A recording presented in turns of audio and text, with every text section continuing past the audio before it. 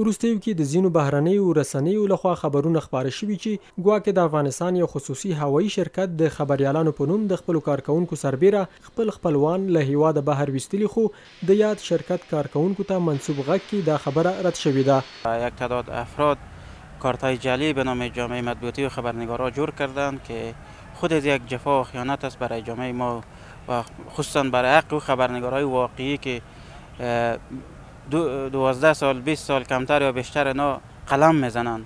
ډیری افغان خبریالان ادعا لري چې له خطر سره مخ دي خو د دوی پر ځای داسې کسان له هیواده وتلي چې آن یوه ورځ یې حتی رسنۍ کې کار نه دی کړی.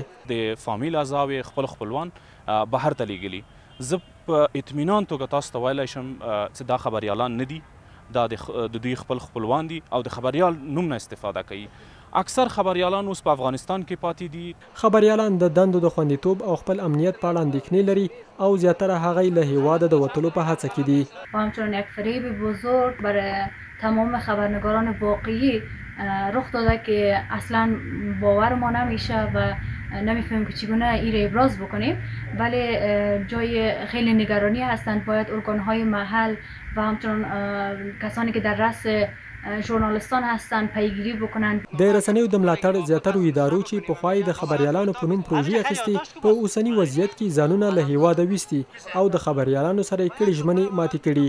خو متاسفانه یو بل ستونزه چی د خبریالانو رسنیز کورنی په مقابل کی ولاړ دی او پراته دی هغه ځنی شرکتونه ده چې جعلي اسنادونه جوړوي خلکو بهر ته لېږي.